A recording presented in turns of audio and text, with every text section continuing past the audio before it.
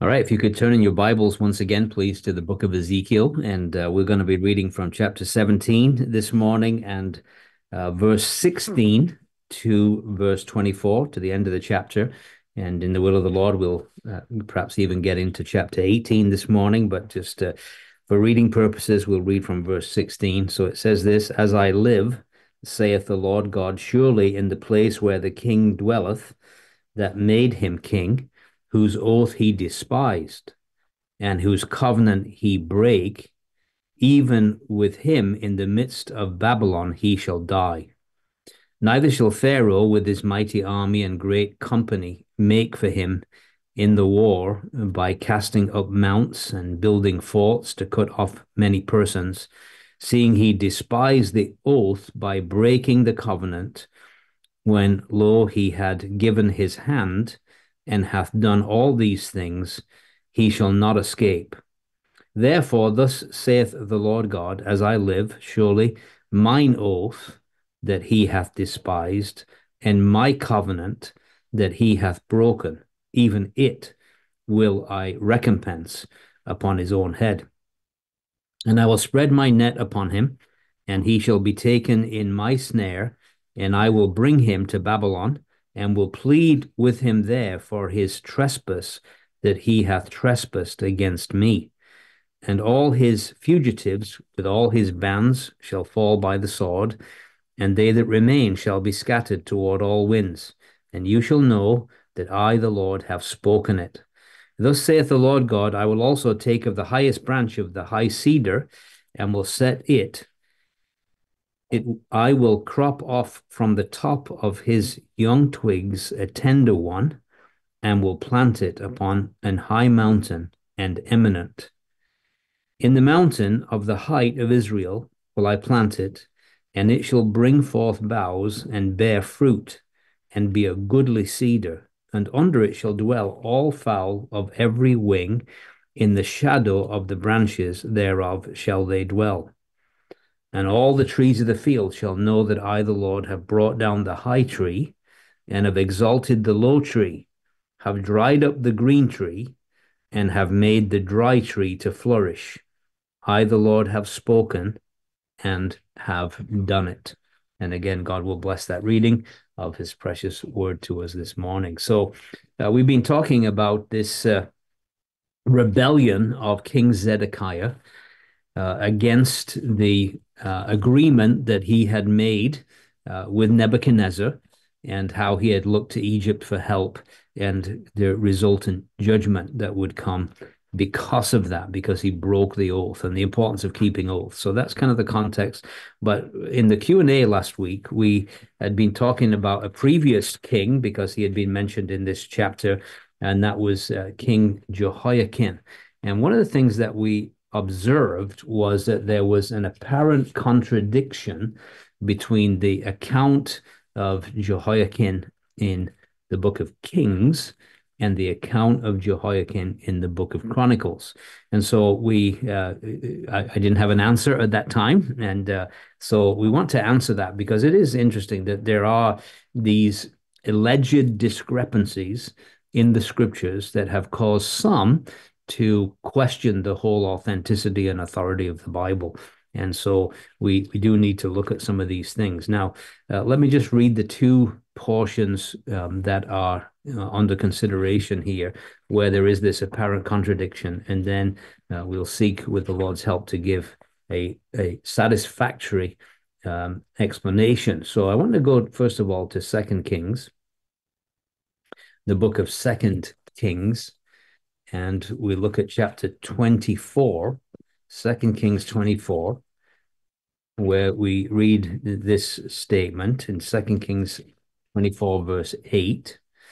It uh, simply says this it says, Jehoiachin was 18 years old when he began to reign, and he reigned in Jerusalem three months. And his mother's name was Nehushta, the daughter of Elnathan of Jerusalem. And he did that which was evil in the sight of the Lord, according to all that his fathers had done.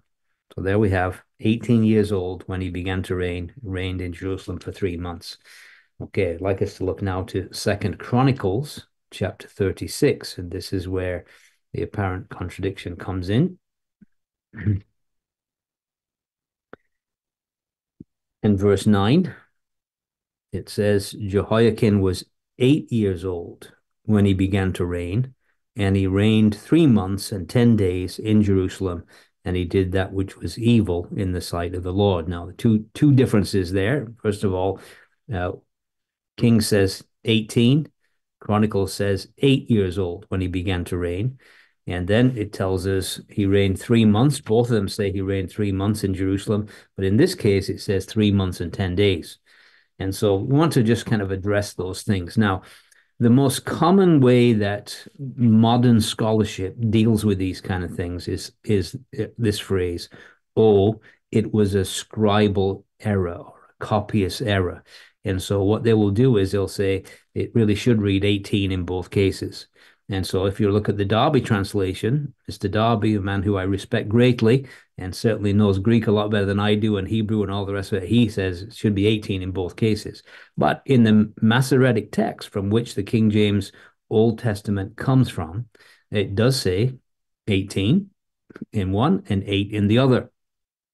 So how do we deal with this? And so, and again, I have to say, I am never happy with the argument it's a copyist error. And the reason I say that is that uh, these uh, copyists of scripture were very, very careful. If there was even one mistake, they would just rip up the whole thing and start all over again. They counted letters, they counted words. They, accuracy was there, the, the name of the game. And so I, I, I feel, feel it's a very, in my mind, a cop out to say that. And I think there, there are some good explanations. So we, we might want to uh, ask the question: How do we how do we reconcile these things? The 18 year old uh, says, How do we reconcile Jehoiachin being 18 years old when he became king with the second scripture, which says he was eight years old? So going back to prior to um, the advent of higher criticism. So we're looking at commentaries that existed before higher criticism became the fad in the 1880s. Uh, and, uh, and it really did become a fad, which still dominates a lot of Chris- Christianity today. So here's a, a, Puritan commentator called Matthew Poole. And uh, of course, we're going to cite some others as well. And this is what they say. Here's the answer to this discrepancy. He says, Both ages are true. In his eighth year, Jehoiachin began to reign with his father as a co-regent, who made him king with him, as other kings of Israel and Judah had done in the like times of trouble. And in his 18th year, he reigned alone. Okay, so in his 18th year, he began to reign without his father, and then he reigned three months in Jerusalem.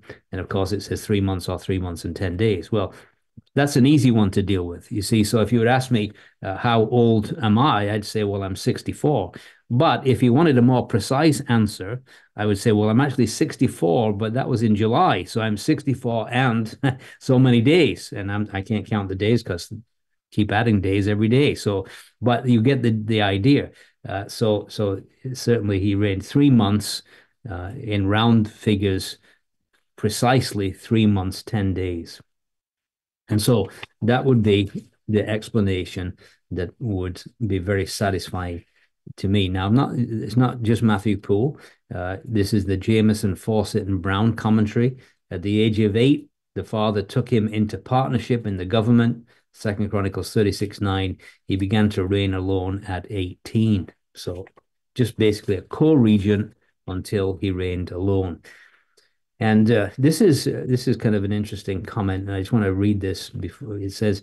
It is never satisfactory solution to simply put discrepancies down to a copyist error, since the Masoretic scribes, in God's providential preservation, were most meticulous in their work. Our high view of Holy Scripture leads us to say, with John Newton, remember John Newton, the Amazing Grace uh, author, he says, I will put down all apparent inconsistencies in the Bible to my own ignorance until I find a solution. I like that. And I'm going to go with that. So there we go. That's the, that answers that. And uh, we just want to move back now into our passage in Ezekiel, uh, hopefully satisfying. those that are going to listen to this, and we'll get back into chapter 17, Ezekiel chapter 17. And and so uh, again, this idea of the oath. I want you just to notice. I think we we did uh, up to verse seventeen last time. Uh, so uh, I want you just to notice verse eighteen. It says, "Seeing he despised the oath by uh, by breaking." This is chapter seventeen, verse eighteen. By breaking the covenant, when lo he had given his hand, and hath done all these things, he shall not escape. So he's emphasizing that he he had given uh, this oath and he'd shaken on it. So he, he, you know, he was very much committed to this covenant, and because he failed to keep the covenant, God says he shall not escape. Now, what's even more significant is the very next verse, verse 19. He says, Therefore, thus saith the Lord God, as I live. And notice what God says now surely mine oath that he hath despised, and my covenant that he hath broken, even it will I recompense on his own head. And so the, the thought is this God regarded it not only as an oath to Nebuchadnezzar, but to him also. The implication of this is far reaching. It indicates that agreements entered into and obligations incurred by worshippers of God are as binding as if they had been made with God in person. And he actually did swear in the name of the Lord when he made this oath. That's what Chronicles 36 tells us that he did it in the name of the Lord. And so, as a result of that, he says, I will recompense upon his own head. I will spread my net upon him, and he shall be taken in my snare, and I will bring him to Babylon. Of course, we know that Nebuchadnezzar did it, but Nebuchadnezzar was God's net, God's instrument for, for judging Zedekiah, taking him uh, into Babylon. And of course, we know the story how he had uh, killed his sons before his eyes, and then he had put out the eyes of uh, Zedekiah. So the last thing he saw was the death of his sons, and he was taken uh, into captivity, and he ultimately died in in Babylon. That was the the end of his uh, his fate. And so this is what God is saying because he says that he has trespassed against me. I will plead with him there in Babylon for his trespass. So, of course, this blind king in Babylon, uh, not too much distractions. You can't see anything.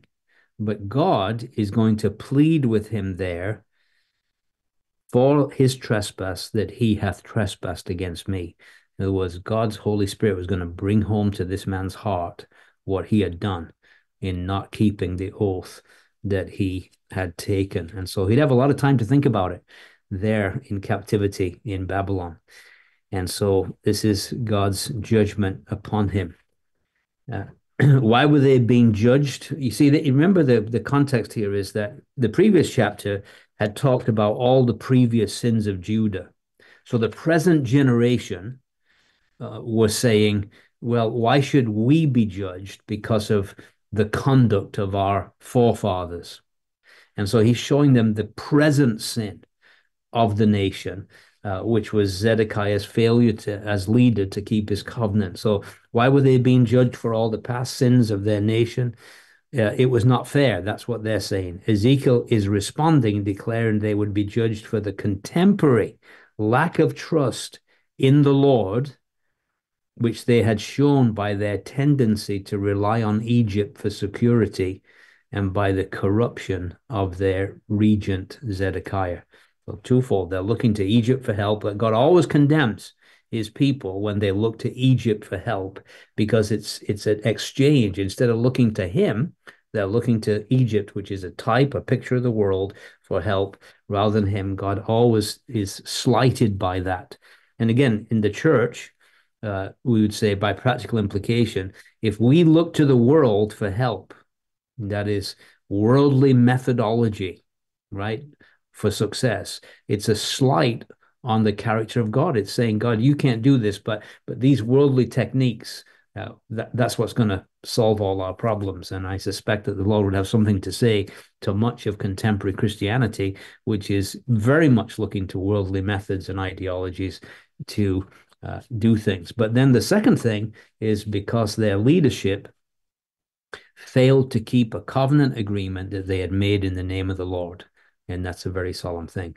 So, as plainly as he could declare it, Ezekiel showed that Judah's political disaster was traceable to moral weakness and deceit.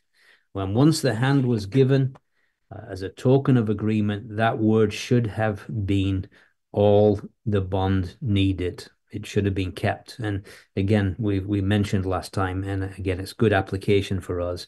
Am I a man of my word? If I, you know, say I'm going to do something, can people say, okay, it'll be done? You know, he's given his word. And, and so, and again, I think it's good, a good practical thing for us to say is, uh, Lord willing, I will do that because there are things that happen that cause us not to be able to keep a, an agreement or or uh, you know so so we'd say Lord willing that that my intention is to keep that fully but we've got to be careful. Let our yea be yea and our nay be nay. That's what the word of God says. Now, what's lovely about this chapter is that it has a very encouraging epilogue in verses 22 through 24. Because as we think about it, the 20th king of Judah dies blinded in Babylon. And so some might be asking the question is this it then? Is this the end of the Davidic line? The royal line of the house of Judah, the 20th king, basically dies blinded in Babylon. What about the Davidic covenant? What about the covenant that God made with David? And I want you just to uh, go back with me to Psalm 89, which is a beautiful psalm of the Davidic covenant. And it's got some, some very important things to say uh, that I think are very relevant uh, today. Uh, so, for instance, Psalm 89 and verse 34, he says this. Um, well, let's just read from verse 33. Uh, oh, let's go back to verse 32.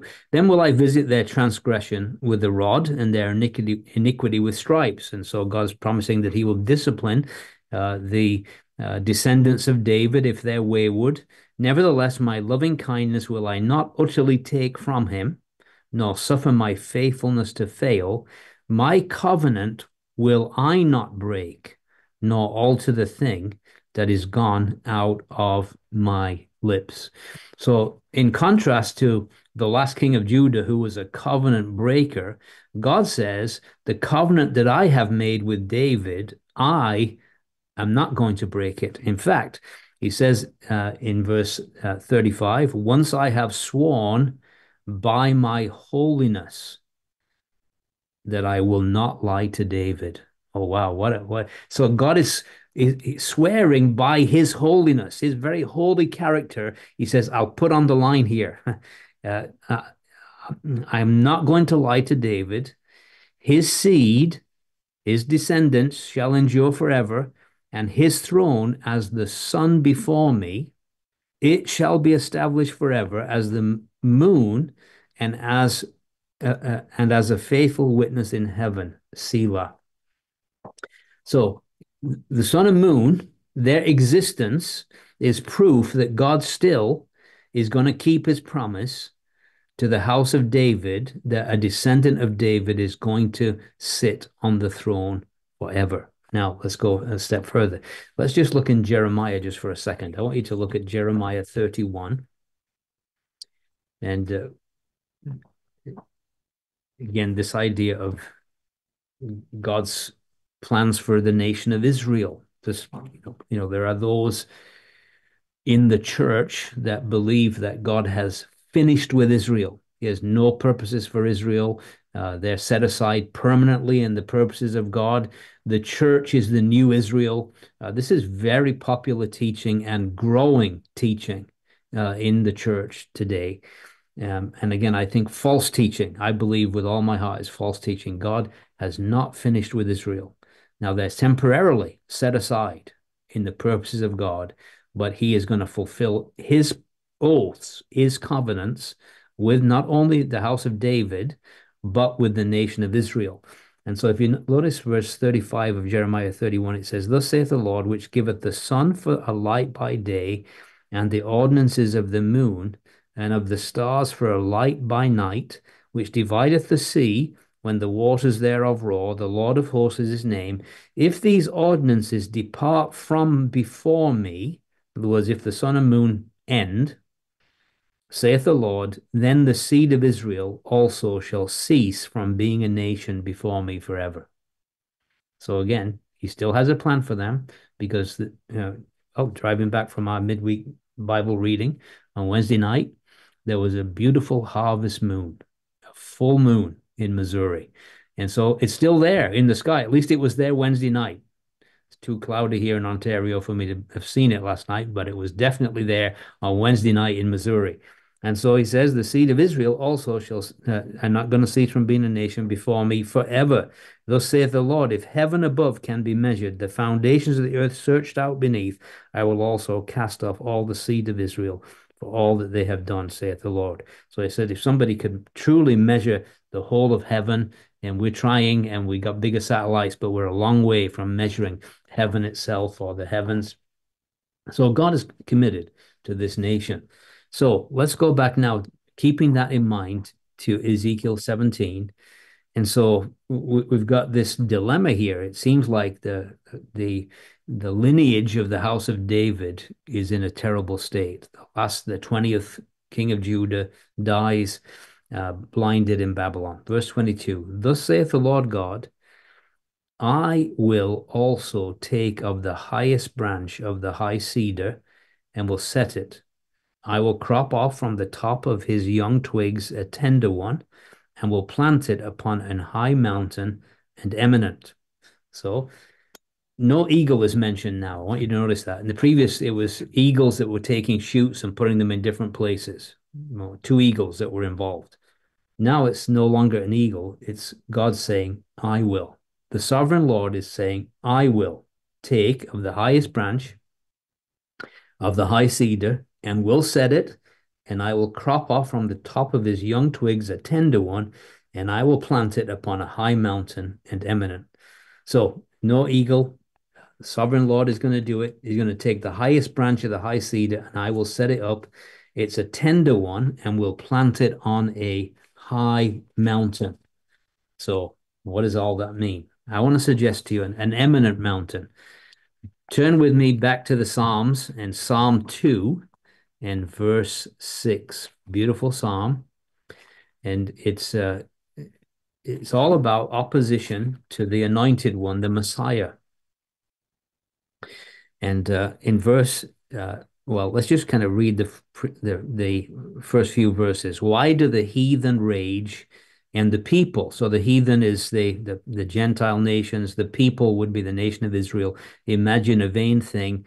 The kings of the earth set themselves, their rulers take counsel against the Lord and against his anointed. That word anointed is charisma, it's the Messiah, against the Lord and his Messiah, saying, Let us break their bands asunder, cast away their cords from us. Basically, modern version of that based on the New Testament would be, We will not have this man to reign over us. The nations say, We do not want Christ to reign over us. So this is God's response. I love this. He that sits in the heavens shall laugh. Don't you just love that? Here's man. We're not going to have this man to reign over us. And here's God just laughing at the very suggestion that man could ever frustrate the purposes of God. And so it says, The Lord shall have them in derision. Then shall he speak to them in his wrath and vex them in his sore displeasure. And then this is our verse. Yet have I set my king upon my holy hill of Zion. And what's interesting is he, he deals with it as if it's already happened. It's the prophetic present here. It's so certain that God will set his king on the holy hill of Zion that God writes it as if it's already happened. And I can guarantee you that there is a day coming when Jesus Christ our Lord will reign over the entire world from Mount Zion because God's word has said it. and no man can stop it. No man can frustrate it. No human schemes or human cleverness can ever stop what God intends to do. And so we're in the realm now of messianic prophecy. presenting with a much more positive note a promise of future blessing in the Messiah. And so God is going to take of the highest branch of the high cedar. Again, speaking of uh, of the nation of Judah, I'm going to set it. I'll crop off the top of this young twig, a tender one. So he talks about this descendant of David, who will be a tender one, is none other than the Messiah, the son of David. Now, let's again look at some scriptures and just keep in mind this idea of this branch, this taken off, this, this, how, how does the, the word use it here? Uh, I'll take off off the highest branch of the high cedar, said it, I will crop off from the top of his young twigs a tender one. So again, this is God's plan. So let's just look at some scriptures, lovely scriptures. Isaiah 11, 1. It says this, there shall come forth a rod out of the stem of Jesse, and a branch shall grow out of his roots. Okay, so descendant of David, you know, David's father was Jesse. So a rod out of the stem of Jesse, a branch shall grow out of his roots. Because then it goes on, it says, the Spirit of the Lord shall rest upon him, the Spirit of wisdom and understanding. And Of course, it's clearly messianic and uh, it talks about him, verse 4, with righteousness, he'll judge the poor, uh, and so on and so forth. Uh, talks about the millennial earth, cow and the bear feeding together, young ones lying down together, the lion eating straw with the ox, and so on and so forth. The earth will be full of the knowledge of the Lord as the waters cover the sea. Very, very beautiful uh, chapter, verse 10. In that day there shall be a root of Jesse, which will stand for an ensign of the people. To it shall the Gentiles seek, and his rest shall be glorious. It's speaking of um, kingdom of Messiah. Let's look at some more references. Jeremiah 23 to this idea, this shoot, this branch, this tender one coming out of the descendants of David, out of the uh, that dynasty, that family. Jeremiah 23 verse 5 and 6 Behold, the days come, saith the Lord, that I will raise unto David a righteous branch, and a king shall reign and prosper, and shall execute judgment and justice in the earth. In his days Judah shall be saved, and Israel shall dwell safely. And this is his name, whereby he shall be called the Lord our righteousness. Jehovah Tsidkenu. What a wonderful, wonderful thing. The good shepherd will replace the worthless shepherds of Israel, and he will reign on the earth. Jeremiah 33 and verse 15. Jeremiah 33, verse 15. Again, we read this, and in those days and at that time will I cause the branch of righteousness to grow up unto David, and he shall execute judgment and righteousness in the land. In those days shall Judah be saved, Jerusalem shall dwell safely, and this is the name wherewith she shall be called the Lord our righteousness. For this saith the Lord, David shall never want a man to sit on the throne of the house of Israel, because that's going to be fulfilled in the Messiah. Zechariah chapter 6. And there's just so many of these, but they all fit together so beautifully. This is God's eternal plan. This is what he's going to do. He's going to set his king on his holy hill of Zion. Zechariah 6 and verse 12. He says this, he says, and speak unto him, saying, Thus speaketh the Lord of hosts, saying, Behold, the man whose name is the branch, and he shall grow up out of his place, and he shall build the temple of the Lord. Even he shall build the temple of the Lord. That's uh, the temple that we read of in the book of Ezekiel. We're going to get to that. There's going to be a, a tremendous section from chapter 40 through 48 where the, the what we call the millennial temple, he will build the temple of the Lord. And it says, uh, he shall bear the glory and shall sit and rule upon his throne, and he shall be a priest upon his throne, and the counsel of peace shall be between them both. And then final one, Revelation chapter 22, giving clear identification of who we're speaking about. Verse 16 I, Jesus, have sent mine angel to testify unto you these things in the churches. I am the root and the offspring of David and the bright and morning star. Who, who is this tender branch, this, this root that's going to come out of the rotten stump of the house of David? Well, Jesus says, I am. That's it's me. I am the one that's going to fulfill all these things. So, in contrast to Zedekiah, uh, this one is planted of the Lord and will be fruitful and be a goodly cedar, not a creeping vine. Creeping vine, uh, kind of a that's the idea of a, a kingdom of low uh, value, but this kingdom is going to be an exalted kingdom. And of course, it's going to be the Lord Jesus that is going to be reigning. And so, uh, as we said, this is Ezekiel's version of the great prophecy of Isaiah 11.1, this coming forth a rod from the stem of Jesse, a branch growing out of his roots.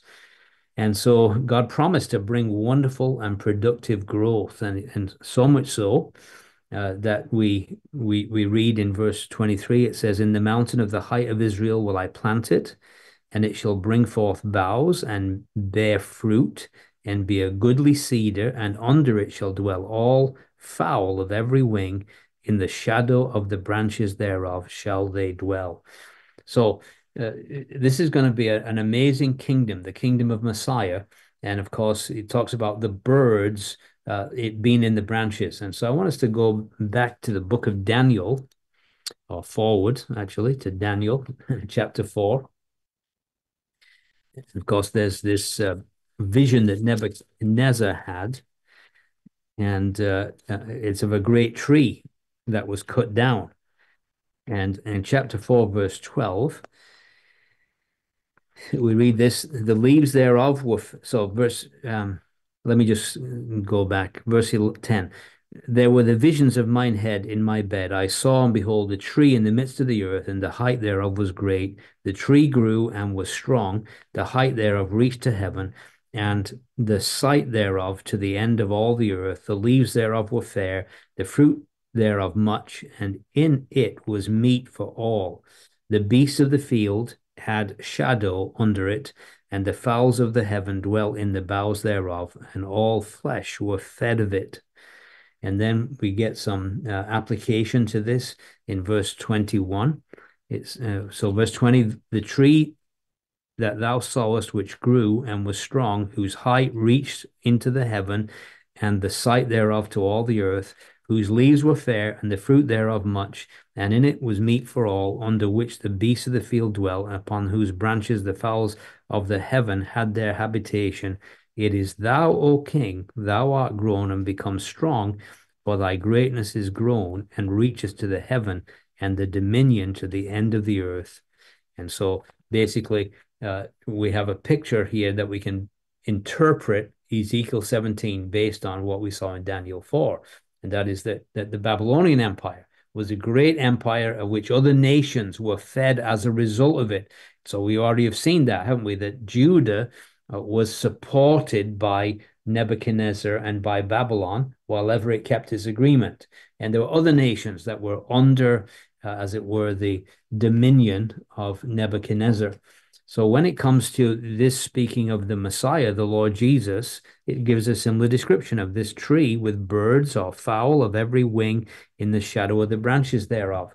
And so again, we're going to find that Messiah's kingdom, all the nations of the earth are going to be blessed as a result of Messiah's earthly kingdom. And not only is it going to be blessed, um, they're going to be gathered to the Lord. And so I want you just to look back in Isaiah again now, Isaiah chapter 2. And again, all we're doing is comparing scripture with scripture, but we get an indication of the nations and what is going to happen uh, to the nations uh, when Messiah is king. And so it says, verse Isaiah 2, verse 2 It shall come to pass in the last days that the mountain of the Lord's house shall be established on the top of the mountains and shall be exalted above the hills, and all nations shall flow into it. And many people shall go and say, Come ye, let us go up to the mountain of the Lord, to the house of the God of Jacob, and he will teach us of his ways. We'll walk in his paths. For out of Zion shall go forth the law and the word of the Lord from Jerusalem. He shall judge among the nations, shall rebuke many people. They'll beat their swords into plowshares, their spears into pruning hooks.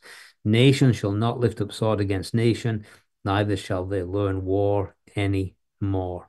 And so uh, amazing, isn't it? I, I don't know about you, but I just look forward so much to the day when Jesus Christ reigns on planet Earth. There'll be peace. Uh, the nations, instead of hating Israel, which is going on right now, uh, anti Semitism at an all time high, the nations will flow into the land of Israel and say, Teach us about your God. And, and what a, what a day, a glorious day that is going to be. But it's only going to come about not by the IDF or or uh, Jewish great military and intelligence and all the rest of it, but it's only going to be brought about by Jesus Christ the Lord when he comes back to save that nation and then to set up this this glorious kingdom that will have no end. So in verse 24, it says, And all the trees of the field shall know that I, the Lord, have brought down the high tree, have exalted the low tree, have dried up the green tree, have made the dry tree to flourish. I, the Lord, have spoken and have done it. So it's interesting, isn't it, how God loves to do this? He he loves to exalt the low tree and bring down the high tree. And if, if you look at scripture, you'll see so many examples of that. You remember Joseph in the dungeon, he was a low tree, and yet God exalted him and made him second only to Pharaoh, right? God just loves to exalt the humble. That's just the way he works. Uh, we see Israel in Egypt, they're slaves. And yet God brings them to this place where the Egyptians actually came and gave them their jewelry and all the rest of it and, and recognize that God was with them. We see David persecuted this uh, low tree, but God exalted him and made him the high tree, and he became king over all Israel. He was so low that when uh, Samuel was was uh, looking uh, to to anoint a new king, David was passed by. He was out looking after the sheep. They didn't even call him, and yet God exalts the low tree. And yet, of course, the most exam- perfect example of that is the Lord Jesus. In Philippians chapter 2, the one who humbled himself so low to become obedient, even the death, the death of the cross, God, he says, has highly exalted him and given him a name which is above every name, that at the name of Jesus, every knee shall bow, every tongue will confess Jesus Christ is Lord to the glory of God the Father. And by the way, just from a practical um, application of this that if we want to be usable for the Lord, then God only uses the humble. God resists the proud, but he gives grace to the humble. So we have to take that same place, that lowly place. And so he talks about this low tree, but he also talks about a dry tree. And so he says, um, in again in verse 24, he says, I, the Lord, have brought down the high tree, have exalted the low tree, have dried up the green tree, and have made the dry tree to flourish. And so, again, we would say this that the house of Israel had become, or the house of David had become a dry, rotten, corrupted stump. And Jesus, he is that that that root out of dry ground right out of this dry ground. One reference we we didn't look at, but would have been very relevant in terms of the messianic aspects of the Lord Jesus, Isaiah 53, uh, one that we we know so well.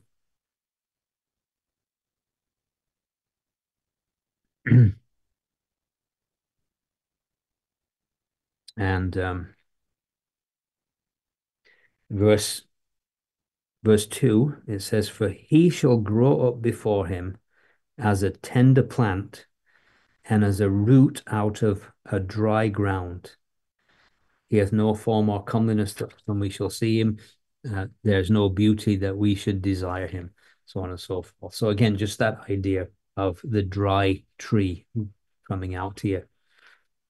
So, again, just amazing to think uh, of, of this chapter um, what a what a tremendous chapter it really is. That um, it begins uh, with the disillusion, basically, of this uh, kings of Judah, and it ends with an exaltation uh, of the coming king, uh, who will come out of this corrupt lineage and set up a glorious kingdom that will last forever and ever. So it's a great ending to chapter 17. Sometimes in Ezekiel, we've got to go through some pretty bleak stuff, uh, but he, he, he, he rarely leaves us there. He usually has something positive at the end to kind of lift our spirits and encourage us. So now we, are going to move on into chapter 18. And uh, just again, just kind of by way of review, in chapters 13 through 17, uh, we've seen God through Ezekiel tell them the reasons for the coming judgment on Jerusalem and on Judah. Now we want to deal with, in verse chapter 18, some objections to coming judgment. And then in chapter 19, a lamentation for coming judgment. So we're going to see uh, in chapter 19, particularly, that Ezekiel uh, expresses the heart of God, the lamentation over this judgment that is to take place.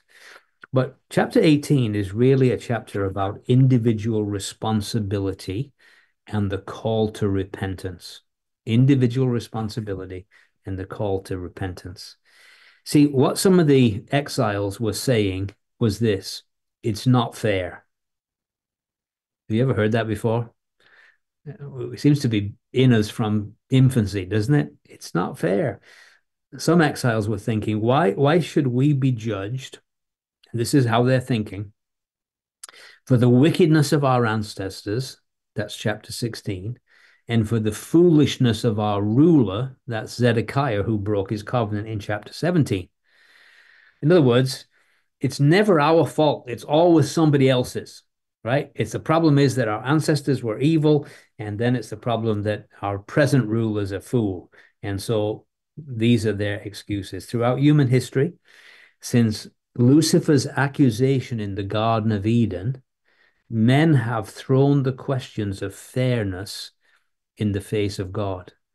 You see, in the Garden of Eden, it was God's not being fair, you see. He's he's keeping back from you this really good tree in the midst of the garden. He's just not being fair. And ever since then, this this argument of God's not being fair has been thrown in the face of God. So Ezekiel is going to answer that each individual is responsible for his own sins. This chapter is also a wonderful treatise on repentance and what it looks like. So we find in the chapter the prophet directly answering erroneous statements that the Jewish exiles were making about God and their present circumstances. So I want you to notice, uh, for instance, in verse 2, what mean ye that you use this proverb concerning the land of Israel, saying? So again, notice it's what they're saying. They're using a proverb, they're saying this thing. So he's going to answer what they're saying. We'll talk about the proverb in a, in a little while. But look at chapter 18, verse uh, uh 19, and you'll notice he says, Yet ye say, why? And so again, they're they're arguing back. You're saying, uh, we see it again in verse 25. Yet ye say, the way of the Lord is not equal. And then in verse 29, yet saith the house of Israel, the way of the Lord is not equal. So he's, he's basically uh, going to take up what they're saying, their objections, they're saying this, they're saying this. And so God is going to say, okay, this is what you're saying. Now listen to what I'm going to say. And of course, when God says something, what is he going to speak from? Well, verse one, the word of the Lord came to me again, saying.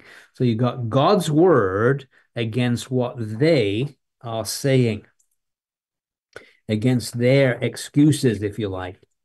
And so we're going to look particularly in this chapter at God's judgment being perfectly righteous despite their objections. So the word of the Lord comes to Ezekiel, the true and living word, and it's been set against popular proverbs or cliches of the day. So, for instance, again in verse 2, what mean ye that you use this proverb concerning the land of Israel?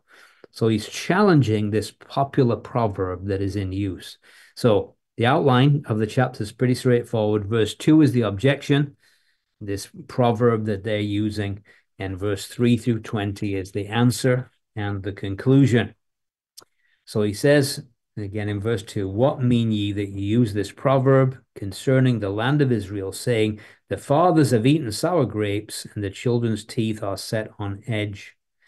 This is the popular proverb used among the children of Israel, both among those in captivity and those he uh, address ones he addresses here, and also those in Jerusalem.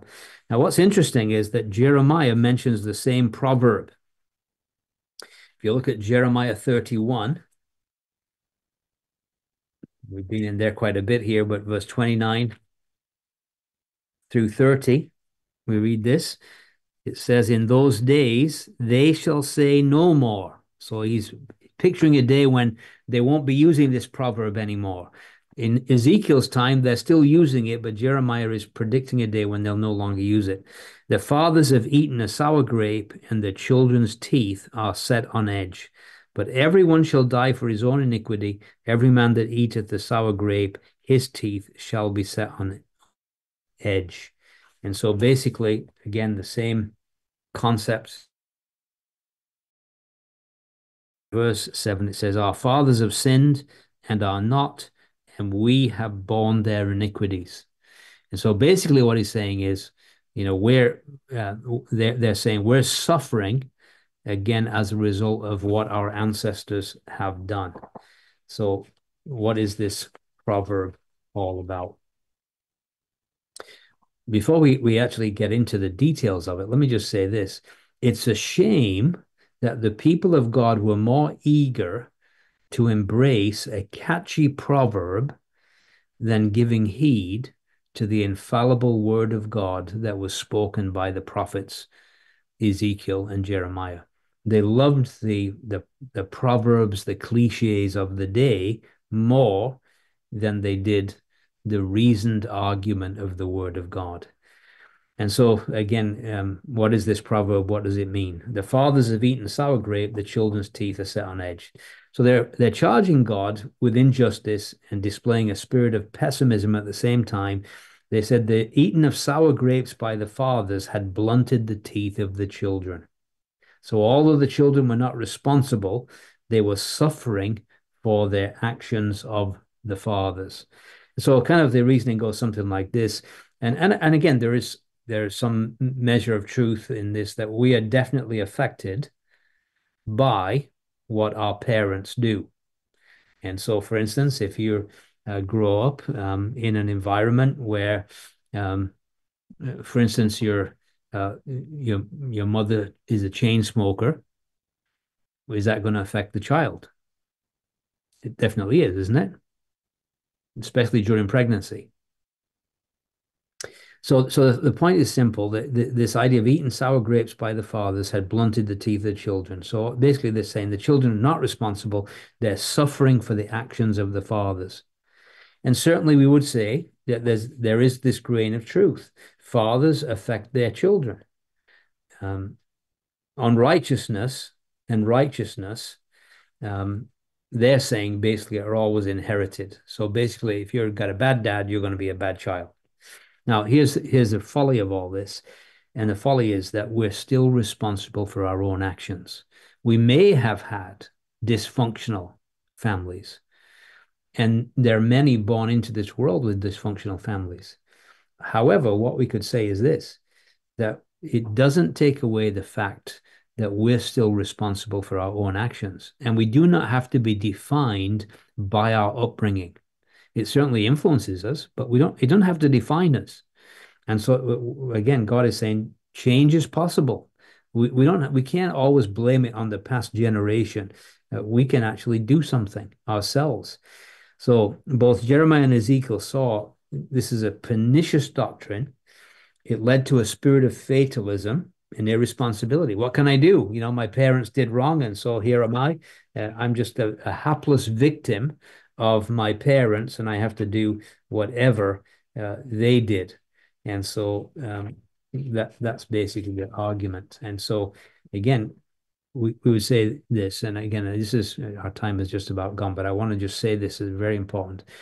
Although we're influenced by our upbringing, it does not have to define us. And I, I think it's important for you. People have got to come to this. You know, um, uh, my my wife and I both uh, could testify to growing up in in difficult, not exactly pristine Christian homes, uh, and uh, and you have to make a decision. Am I going to let that just kind of be define who I am for the rest of my life, or are we going to make a new start, a new beginning, a new household based on biblical truth? And everybody faces those choices. And so, far from having a cause to blame their sinful ancestors for the present suffering, the exiles actually were more guilty than their fathers because they had sinned more and their idolatries were greater. And here's uh, proof of this. They're trying to blame it on their ancestors, but this is what Jeremiah 16, verse 11 and 12 says that puts completely to uh, the sword, as it were, their claim that their parents had had the influence upon them. So he says in Jeremiah 16, 11 and 12, Then shalt thou say unto them, Because your fathers have forsaken me, saith the Lord, and have walked after other gods, and have served them, and have worshipped them, and have forsaken me, and have not kept my law, and you, now notice this, have done worse than your fathers. For behold, you walk everyone after the imagination of his evil heart, that they may not hearken unto me. So he says, you know, yeah, you've been influenced by them, but you've actually done worse than they have. And the good news is you don't have to do that. And that's what he's going to bring out in this chapter, but our time is definitely gone. And we will uh, look at this uh, chapter again next week, Lord willing, and we'll see that there's another pathway. And the other pathway is this my past doesn't have to define me. In fact, I can have a bright, glorious future if I personally decide to follow God's ways. And that's the choice that everybody faces. What are you going to do with the truth of God? Are you going to take responsibility for your own actions? Are you going to follow what the word of God says? So our time is gone. May the Lord encourage us with these thoughts.